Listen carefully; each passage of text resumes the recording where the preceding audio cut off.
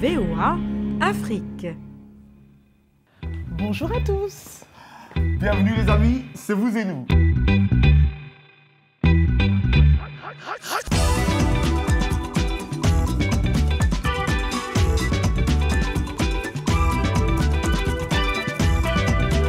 Comment vas-tu, Roger? Ça va très bien en tout cas, tu vas bien? Je Ça a été le week-end? Pourquoi tu as une tasse, tu as soif? Monté, ouais. Ok. Ravi de vous retrouver dans cette nouvelle édition de Vous et Nous, qui dit nouvelle semaine, dit nouveau sommaire. On vous propose un reportage sur la guitare congolaise qui ne cesse de séduire au-delà de ses frontières. Waouh, on verra aussi une chaîne dédiée aux cérémonies de mariage hein, qui pourrait voir le jour very soon. On verra comment.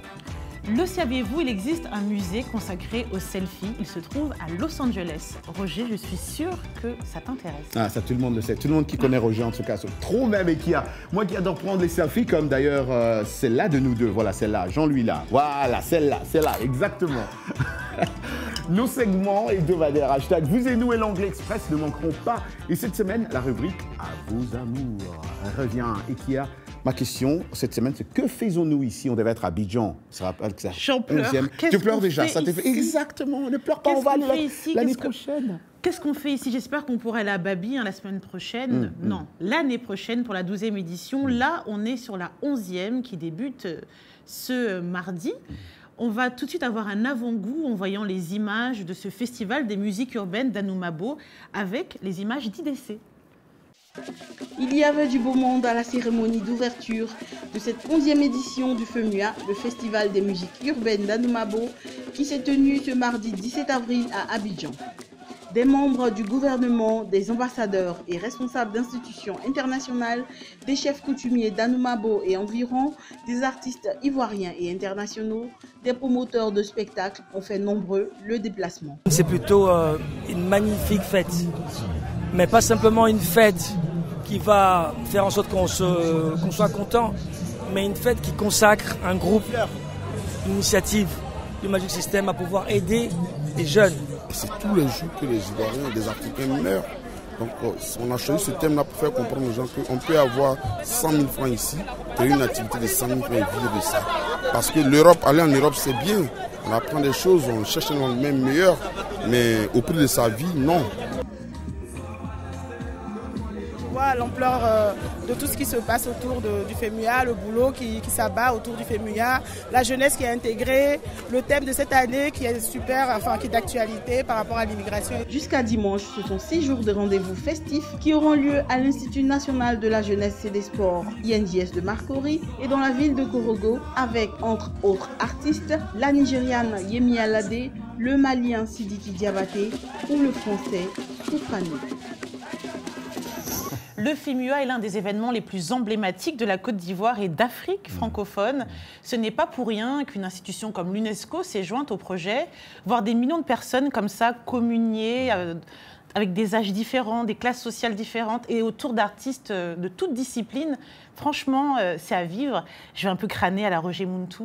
J'ai eu l'honneur de pouvoir participer au FIMUA, en tout cas à deux, euh, à deux éditions, et même de co-présenter euh, l'édition 8. Merci à Salfo. Je suis Et franchement, c'est vraiment un événement qu'il ne faut pas rater, et d'autant plus que c'est gratuit. Hmm. Et ça, c'est rare de pouvoir avoir des bons concerts gratuits. Ah, Non-stop. Non-stop. Chaque heure, tu as un concert avec des artistes tellement prestigieux. Exactement, exactement. Et, et d'ailleurs, là, on va profiter hein, parce que qui d'autre On peut, on peut que parler de, du FEMUA avec le grand, le grand euh, Assalfo, hein, le fondateur, un des fondateurs de cet événement. Il s'agit de messieurs Traoré Salif Eke Assalfo, lead vocal du groupe Magic System et commissaire général du dit festival qui nous rejoint au téléphone. Bonjour Assalfo. Bonjour à Salfo. Bonjour Roger, bonjour Ekia, comment allez-vous? Ça va très, Très bien, bien, Salfo, et merci. pour ce temps d'ailleurs que vous accordez. Euh, je vais tout droit au but euh, à Salfo. Qu'est-ce que vous réservez aux festivaliers cette année hein? Ben, Vous savez, chaque, euh, chaque édition a, a sa spécificité. Hein. Hmm. Euh, chaque édition a sa manière de, de faire et la 11e édition, elle est un peu spéciale parce que euh, nous changeons carrément de cadre. Nous allons dans un espace plus grand et plus adapté. Euh, avec une programmation artistique euh, aussi panafricaine que mondiale. Donc euh, nous recevons 14 artistes venus de différents horizons avec euh, différents styles musicaux, sans parler du volet scientifique euh, qui, euh, qui va servir de plateforme pour tous les jeunes africains pour débattre autour du thème sur l'immigration clandestine. Voilà. Alors à Salfo, vous venez de dire que le festival va dans un cadre plus adapté. Le festival même devient itinérant. Vous allez même à Korogo cette année. Est-ce que le, fait de, partir comme ça, euh, comment on peut le prendre? Est-ce que c'est un choix qui va permettre encore un plus beau festival? Ou est-ce qu'on s'éloigne finalement de la source même qui est à Noumabo on ne s'éloigne pas de la source parce que Anoumambo garde encore les activités du festival. Il y a une grande scène à Noumambo qui accueille cette fois-ci des artistes émergents qui viennent aussi euh, de, tous les contrées, de toutes les contrées d'Afrique. Il y a aussi le Febia Kid qui a toujours lieu à Noumambo. Euh, la cérémonie d'ouverture qui aura lieu dans, dans quelques heures à Noumambo et qui, qui est l'une aussi des attractions de, de, ce festival. Donc il y a encore des, des activités. Merci beaucoup à Salfo. Merci hein. beaucoup et surtout un grand, un grand, rappel sur cette programmation qui est très éclectique. On a des artistes qui viennent de toute l'Afrique. Et euh, merci beaucoup. Merci à Salfo. Et, on a le Kanza qui va fêter ses 60 ans. Oh, ça, ça, sera une, ça sera une très bonne nouvelle. Il va fêter ses 60 ans sur la scène. Il est né le 21 avril 1958. Et le 21 avril, comme par hasard, euh, c'est le jour où il joue au FEMIA. Et ensemble, nous allons célébrer les 60 ans d'existence d'un monsieur comme le Kanza. Voilà. Merci, euh, infiniment à Salfo. Merci. Hein, je rappelle que vous êtes l'un des organisateurs du FEMUA. Voilà, de la Côte d'Ivoire, passons maintenant au Nigeria où un entrepreneur lutte contre la pollution de manière originale. Il transforme des déchets plastiques en imperméables, en cartables, en housses de voiture et même en chaussures. Il espère ainsi protéger l'environnement, même si tout le monde n'adhère pas à son concept. Claire Morangebo. L'entrepreneur nigérian Olayemi Samson finalise sa dernière création réalisée à partir de déchets recyclés qu'il va ajouter à sa collection. Un imperméable en plastique pour enfants, véritable moyen pour Samson de lutter contre la pollution. 27 millions de sachets d'eau sont jetés tous les jours dans la rue. Et lorsque vous réalisez qu'il faut 20 à 30 ans avant qu'il ne se décompose, c'est très inquiétant. C'est à ce moment-là qu'Olayemi s'est dit qu'il y avait un moyen de transformer cette pollution en quelque chose d'utile. Il a commencé par récolter les sachets d'eau dans une décharge, puis les a lavés et désinfectés avant de commencer à les utiliser pour fabriquer des cartables, des bonnets de douche ou même des housses de voiture. Au début, il y a eu beaucoup de scepticisme. Mais quand certains enfants ont commencé à porter le cartable recyclé, ils sont devenus l'attraction de toute la cour d'école.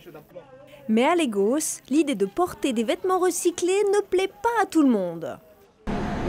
Non, je ne veux pas porter ces vêtements car ces sachets d'eau sont sales. Et je ne permettrai pas à mon enfant non plus de porter ces sacs pour aller à l'école. Selon un rapport de la Banque mondiale, plus de 9000 tonnes de déchets sont produites chaque jour à Lagos. Si la société de Samson n'est pas encore rentable, ce militant de la lutte pour l'environnement espère être une source d'inspiration pour les jeunes, mais aussi pour les pouvoirs publics. L'art d'allier l'utile à l'agréable. I like it. J'aime bien cette idée. J'adore comment tu dis I like, I like it. J'ai pas les bons accents toniques, mais c'est pas grave, c'est le French accent. Alors oui, les pneus recyclés en chaise, les tonneaux en table, etc., etc. J'adore. Mais surtout, ce qu'on entend, c'est ces chiffres de, qui ont été donnés par Claire Morin-Gibourg. S'il vous plaît, ne jetez pas les papiers plastiques n'importe où. Il y a des animaux qui en meurent. Et c'est aussi 27 millions de tonnes de sachets jetés. Ils mettent euh, 20 à 30 hmm. années avant d'être recyclé. Donc si on peut faire attention à ça, ça peut être euh, vraiment très intéressant. Bien pour aider le monde. Alors attention à ce qui va suivre aussi, hein, à travers le monde, le selfie est devenu un phénomène de médias, pour ne pas dire de société tandis qu'il est vu de façon péjorative dans certains endroits. Il accueille aussi les foules dans un musée qui lui est dédié à Los Angeles. Je suis sûre que mon collègue aimerait euh, en faire partie. Genia Gelio l'a visité, un reportage lu par Arzuma Compaoré. Nous pensons que le selfie est une invention du 21e siècle, mais ce n'est pas le cas. Les fondateurs du Selfie Museum, récemment inauguré à Los Angeles, ont tenté de prouver que le désir des gens de prendre des photos d'eux-mêmes remonte à des centaines d'années. Les empereurs romains, la Joconde, les autoportraits de Dürer et de Rembrandt, les photos en noir-blanc qui ornaient les tables de chevet de nos grands-parents, tout cela témoigne de la longue tradition historique du selfie. Les gens étaient obsédés par l'auto-imagerie. Et ils ont pris des photos, se sont dessinés eux-mêmes depuis qu'ils ont commencé à peindre dans les grottes.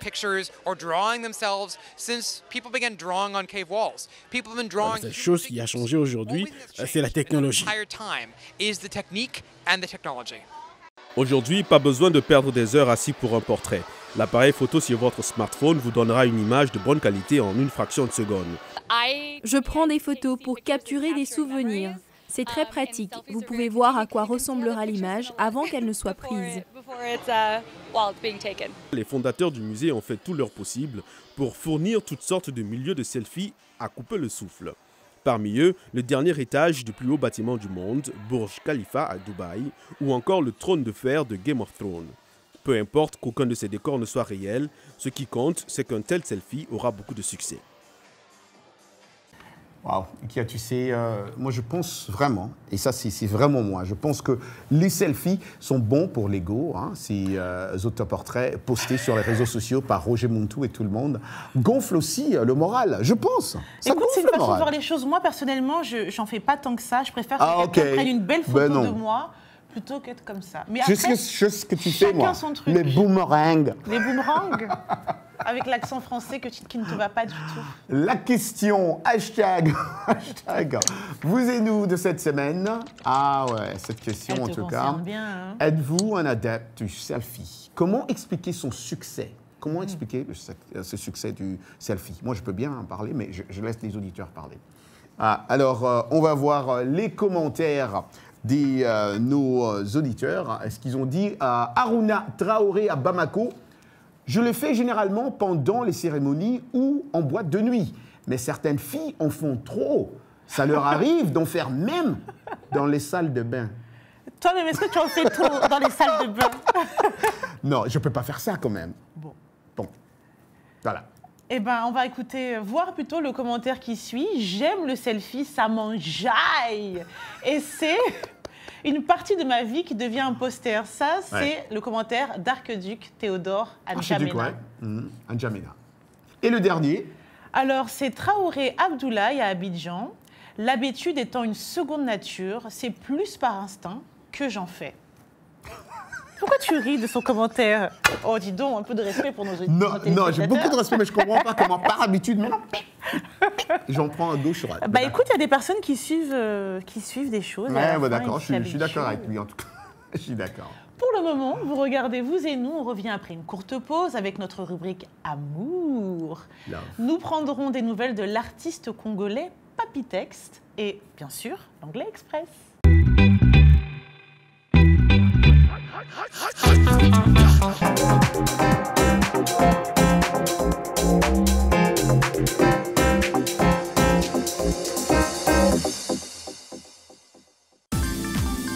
La VOA sur votre portable avec l'application Mobile Streamer.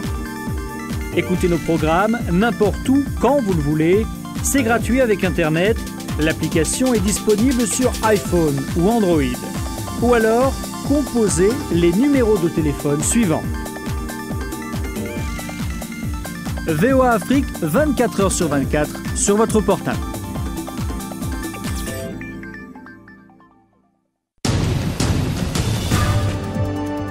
Washington Forum, votre décryptage hebdomadaire de l'actualité africaine, américaine et internationale sur VOA Afrique. 30 minutes d'échange et d'analyse sur d'importants événements, économie, politique, sport, culture. Nos invités répondent aux questions. Washington Forum s'est allé au-delà de la nouvelle, une perspective sur des questions importantes à partir de la capitale américaine. De Dakar à Kinshasa, en passant par Le Caire, New York, Paris et Londres, Nous sommes en direct chaque jeudi à 19h temps universel. Washington Forum sur VOA Afrique et nos chaînes partenaires.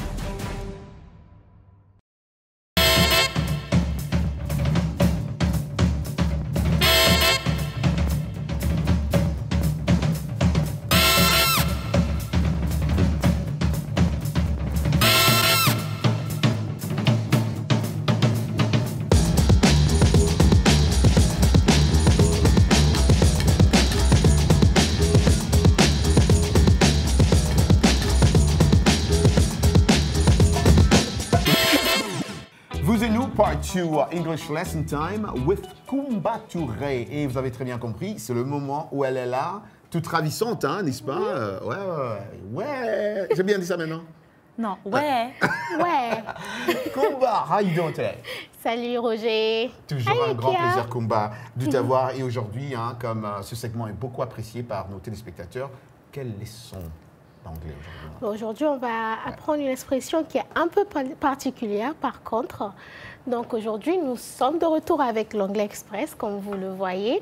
Dans le langage américain, on, rencontre souvent, on rencontre souvent certaines expressions qui nous prennent au dépourvu. Par exemple, Don't throw the baby out with bath water. On se demande bien qui a bien pu créer une telle expression. Ça, c'est vrai. Bonne question. Okay, let's just hope that Jonathan and Anna are not as careless as I'm thinking right now. So, um, regardons-les pour voir. I have bad news. What? The boss wants to reorganize the office and change the way we're doing everything. But some things are really working well. Why throw the baby out with the bathwater? I agree, but she says we should start fresh. Again. Tout d'abord, la traduction littérale de l'expression Don't throw the baby out with bathwater signifie ne pas jeter le bébé avec l'eau du bain. Donc maintenant, vous voyez un peu comment une personne pourrait être choquée par cette expression. Mm. ne pas jeter le bébé avec l'eau du bain est une expression idiomatique parlant d'une erreur évitable dans laquelle on élimine quelque chose de bien en essayant de se débarrasser de quelque chose de mauvais ou en d'autres termes, rejeter le favorable en même temps que le défavorable.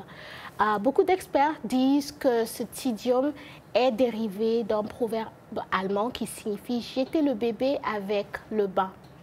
Bon, voilà, c'est tout pour l'anglais express d'aujourd'hui. Merci. À la semaine prochaine, en tout cas. Merci beaucoup, Merci, Koba. Merci beaucoup. Je rappelle que vous pouvez voir euh, toutes nos leçons en allant sur notre page et en allant dans la rubrique Vous et nous.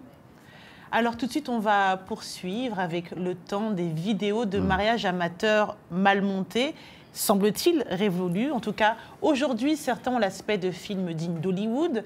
L'avènement de la technologie est sans doute pour quelque chose, avec des boîtiers amateurs ou professionnels de plus en plus performants, il faut l'avouer, hein, mmh. Roger. Mmh. Alors certains pensent que la nouvelle génération de vidéos de mariage mérite une chaîne à part entière. Reportage de Tina Trin, dit par Raïssa Girondin.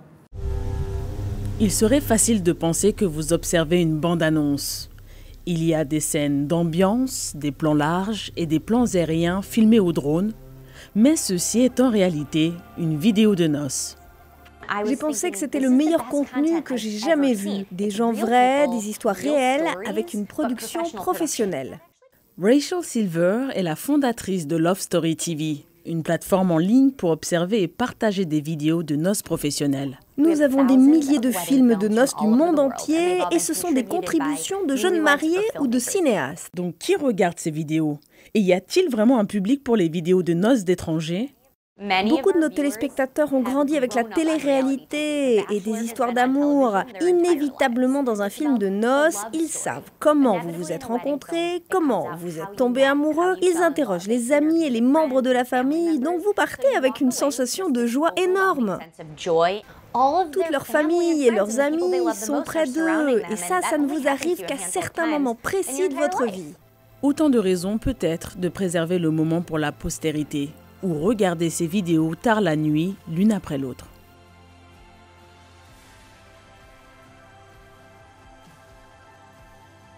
Wow. Et qui a, tu as parlé euh, de certains qui pensent même créer une chaîne de télé pour ça.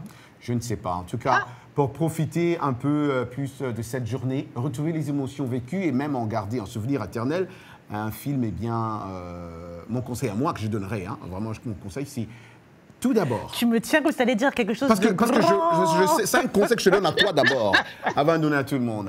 C'est vraiment expliquer à votre vidéaste ce que vous attendez d'eux d'abord. Il faut leur expliquer. Je veux qu'on me filme de gauche à droite. Il y a des personnes qui ne savent pas aussi vraiment ce qu'elles ah, veulent. Ah, d'accord. Donc il faut bien s'entourer Il faut bien s'entourer, d'accord. Et à présent, notre segment à vos amours.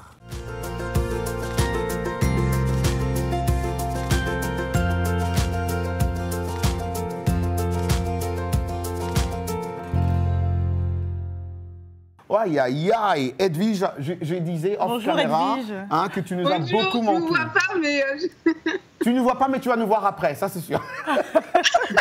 La magie de la technologie. Edwige, moi, la première question de nos téléspectateurs, est une, très- une question que j'ai beaucoup adorée, je ne dirai pas pourquoi. Sait pourquoi. mais c'est euh, Michel Nzaou, à Pointe-Noire, qui dit Le bonheur est-il possible avec un homme ou une femme? Qui n'est pas libre Autrement dit, qui est engagé. Autrement dit, qui est engagé ou marié.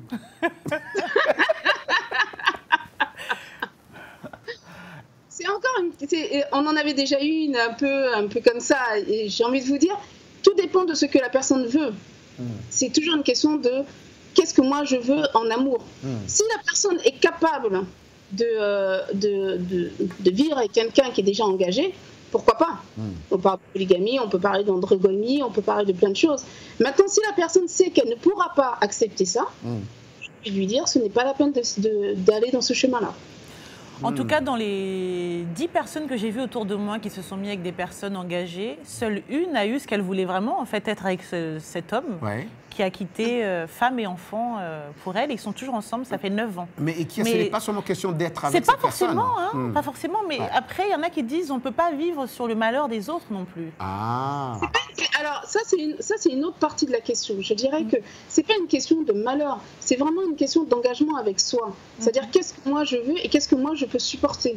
Si la personne elle peut supporter quelqu'un qui est déjà engagé, qui lui donnera pas assez de temps, qui pourra, elle pourra pas réclamer ou elle ne pourra pas dire ou lui faire des remontrances plus tard en disant tu ne m'as pas accordé assez de temps, tu ne m'as pas accordé assez d'amour, etc., etc. Si la personne peut vivre avec ça, allons-y. Mais si elle ne peut pas, et si elle sait très bien que de toute manière ça engagera que de la souffrance, de la douleur, je préfère que la personne. Ah, là, il n'y a pas le bonheur. Il faut Ouais. connaître ses limites, en Ouais, gros. faut connaître- Mais moi, j'ai beaucoup aimé ce que Edwige a dit. Allons-y, allons-y seulement. Alors une autre question, euh, une autre question pertinente, celle de Jean-Claude Yoko au Bénin. Comment un homme peut-il s'épanouir dans la polyandrie Comment un homme. Ah Elle est très intéressante cette. Ah, vraiment cette question. Parce Compliqué que en même temps. ça, ça pose encore la question de, de, de l'être dans, dans sa dimension amoureuse Mm. au sein d'un groupe. C'est-à-dire qu'on pose la question du polyandrie, mais il faut poser aussi la question dans la polygamie. Mm. Comment une femme peut partager un homme avec plusieurs, femmes, plusieurs autres femmes dont elle ne connaît pas?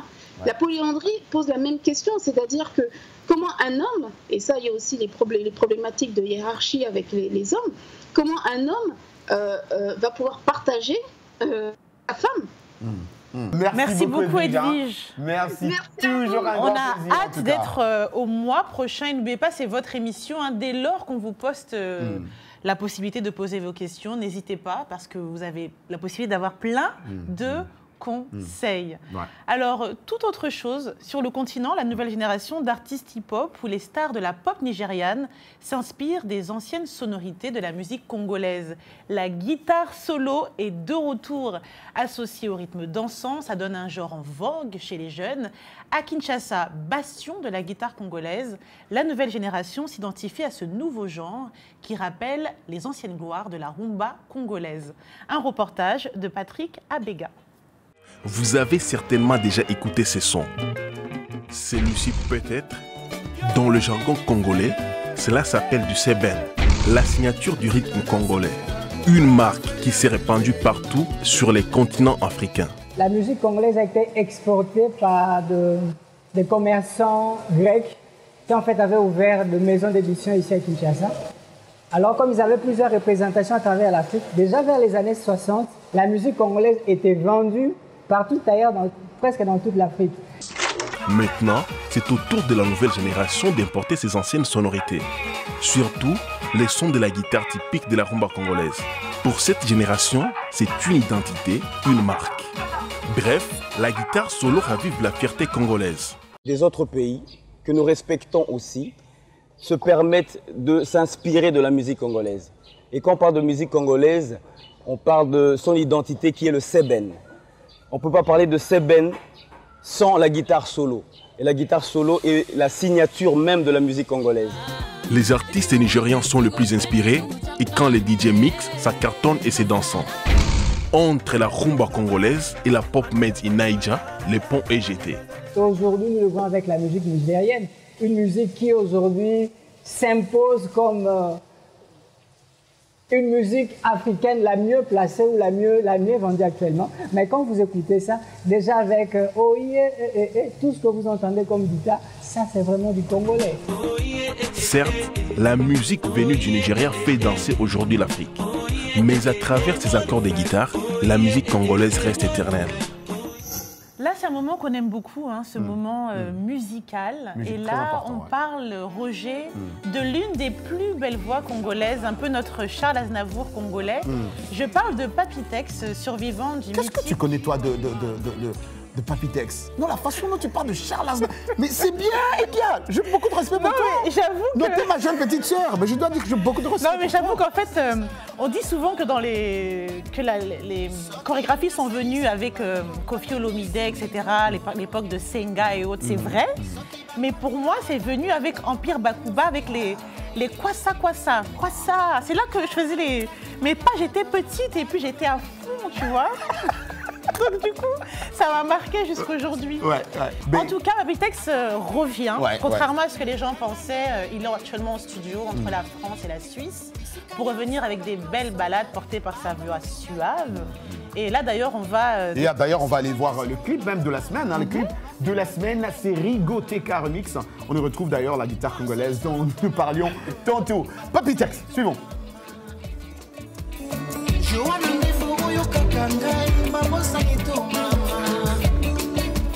Non, cette voix en tout cas. Cette Ouais, voix et ses ouais. guitares.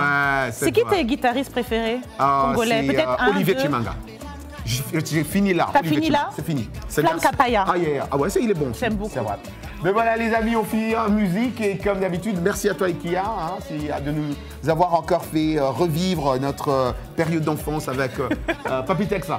Mais, euh, merci à vous qui êtes restés à l'écoute de ce- enfin, suivre cette émission en live, en direct, comme d'habitude. On vous dit rendez-vous La la, semaine, semaine prochaine. Bisous, bisous.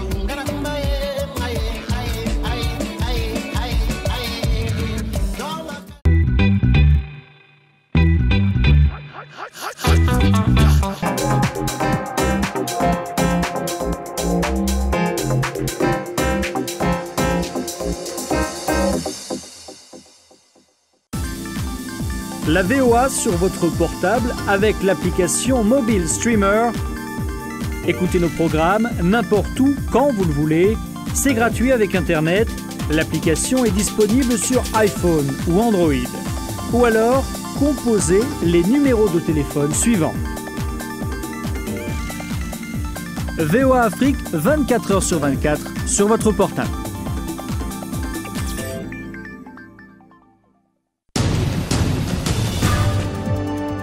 Washington Forum, votre décryptage hebdomadaire de l'actualité africaine, américaine et internationale sur VOA Afrique. 30 minutes d'échange et d'analyse sur d'importants événements, économie, politique, sport, culture. Nos invités répondent aux questions. Washington Forum, c'est aller au-delà de la nouvelle, une perspective sur des questions importantes à partir de la capitale américaine. De Dakar à Kinshasa, en passant par Le Caire, New York, Paris et Londres, Nous sommes en direct chaque jeudi à 19h temps universel. Washington Forum sur VOA Afrique et nos chaînes partenaires.